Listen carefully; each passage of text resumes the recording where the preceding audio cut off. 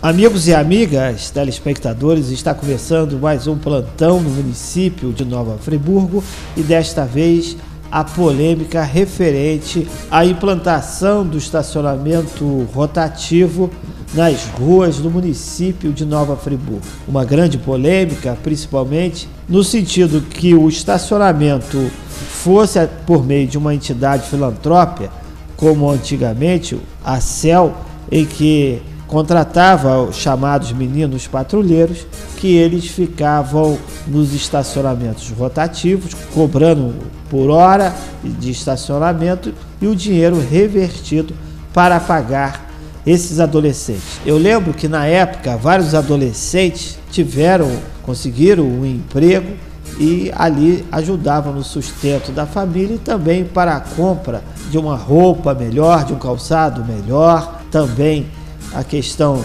de um celular, de uma televisão, de um computador, além de fazer cursos, né? Eu lembro muito bem que um amigo meu na época, ele fez um curso e acabou trabalhando na Telemar, hoje a Oi, né? Conseguindo assim, com o dinheiro que recebia do estacionamento, fez um curso de técnico, se formou e foi trabalhar na Telemar, hoje a Oi, né?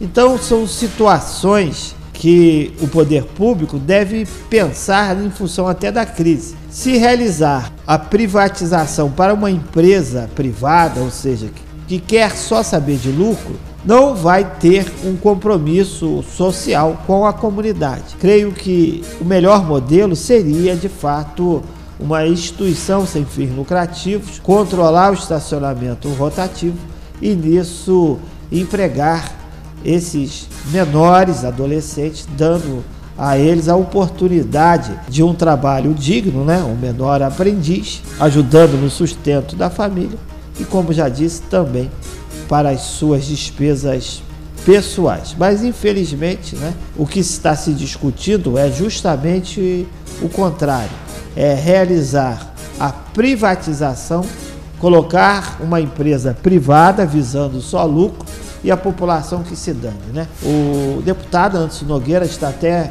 realizando uma movimentação, né?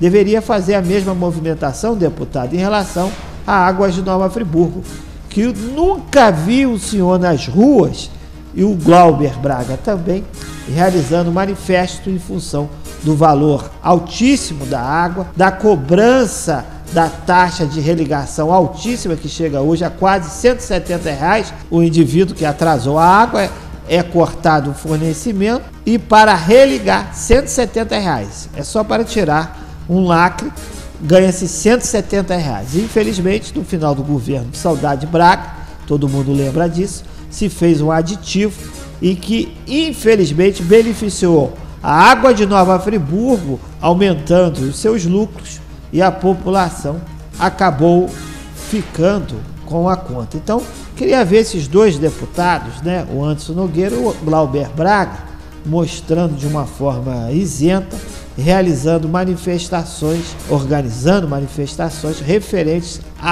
água de Nova Friburgo. Quer dizer, a gente está passando pelo momento difícil, né? Seja do lado de um prefeito, que é o pior em 200 anos, né, o Renato Bravo, seja também nossos deputados, que vem fazendo muito pouco em relação à nossa população. Ignora esse problema da água, como já disse, né?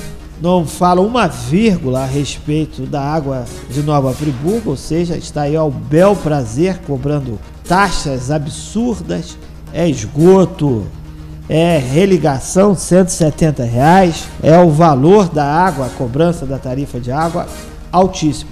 Mas com um deputado que ganha seus milhares de reais, né? tanto Anderson Nogueira como Glauber Braga, não deve estar fazendo falta né? nos bolsos deles em relação ao pagamento da tarifa de água. Né? Mas para a grande maioria da população, dói no bolso. Né?